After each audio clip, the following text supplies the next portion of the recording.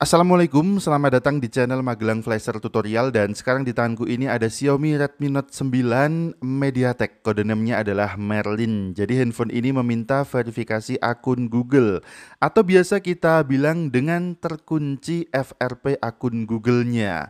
Pada Redmi Note 9 dengan versi keamanan terbaru, dengan versi MIUI terbaru, sudah tidak bisa kita bypass lagi akun Google-nya dengan metode mengganti model kunci layarnya.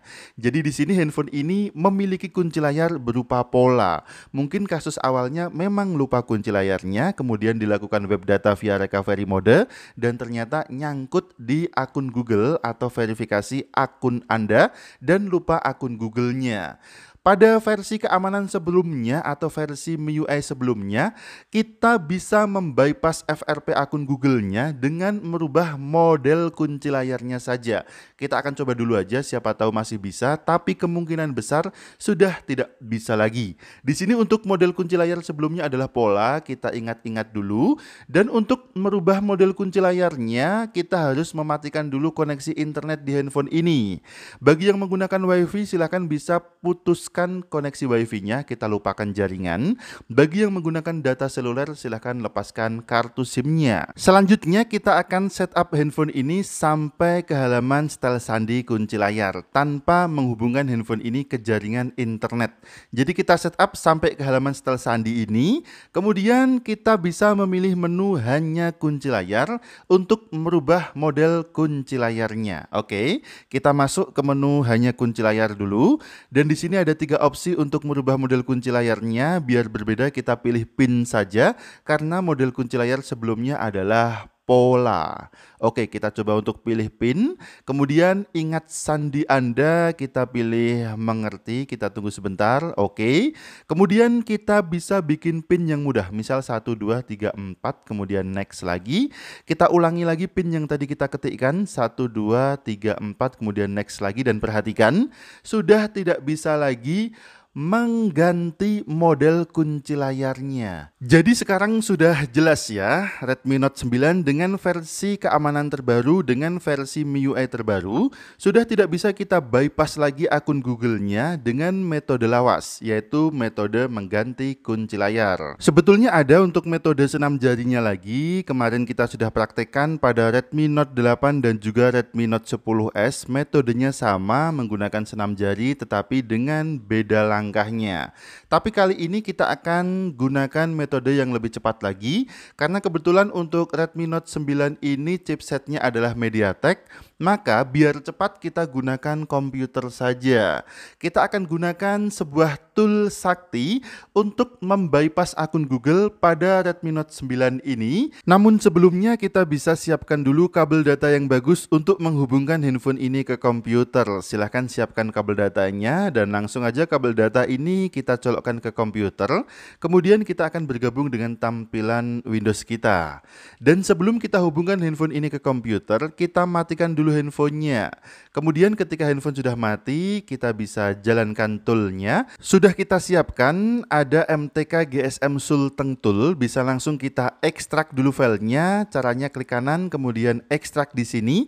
Dan untuk password ekstraknya adalah Magelang Flasher, huruf kecil semua tanpa spasi. Kemudian kalau sudah kita ketikkan passwordnya untuk ekstrak, kita klik OK aja dan kita tunggu sampai proses ekstraknya selesai. Muncul sebuah folder hasil ekstrak filenya. Kita buka foldernya dan kita jalankan tool ini dengan mendouble klik MTK GSM Sulteng toolnya.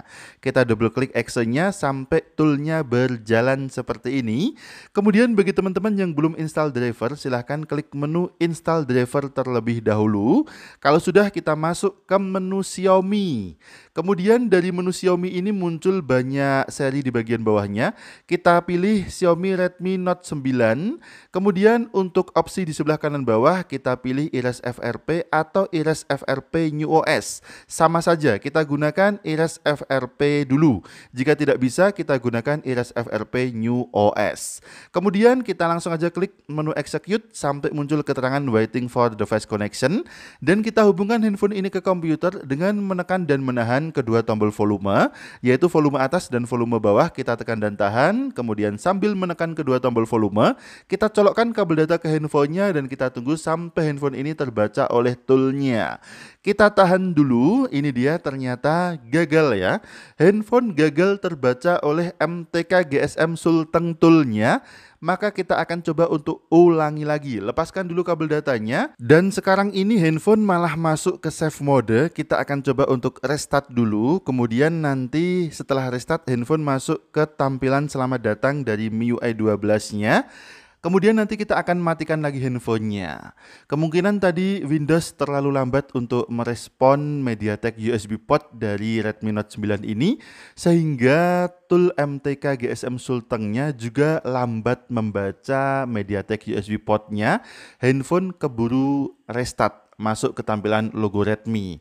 Oke ini dia handphone sudah masuk ke tampilan MIUI kita tunggu sebentar. Kabel data sudah langsung kita hubungkan ke handphonenya. Kemudian kita tekan volume atas volume bawah dan tombol power sampai handphone ini mati. Dan ternyata handphone masih belum bisa terbaca oleh MTK GSM Sulteng Toolnya. Ada apa ini? Kita tunggu sebentar ya jika gagal nanti kita akan coba untuk ulangi lagi sampai bisa jadi tidak semua tutorial yang dicontohkan di YouTube itu akan berjalan mulus tanpa terkendala. Mungkin berbagai macam masalah juga akan kita temui seperti ini contohnya. Oke, kita akan coba untuk gunakan Iris FRP New OS saja. Kita klik stop dulu. Oke, sudah kita stop ya. Kita gunakan yang opsi Iris FRP New OS, kemudian kita klik menu execute-nya. Sekarang langsung aja kita hubungkan handphone ini ke komputer menggunakan kabel data, kemudian kita paksa matikan dengan menekan tombol volume atas, volume bawah, dan tombol power sampai handphone ini mati. Ketika handphone ini mati, dengan cepat kita lepaskan tombol powernya, namun tetap kita tekan dan tahan tombol volume atas dan tombol volume bawah sampai handphone ini terbaca oleh toolnya. Ketika handphone sudah terbaca oleh toolnya, baru kita melepas tombol volume atas dan tombol volume bawahnya. Sekarang kita tunggu handphone sudah terbaca oleh toolnya. Sending EMI data kemudian all is done. Jadi handphone ini sudah berhasil kita bypass akun Google-nya.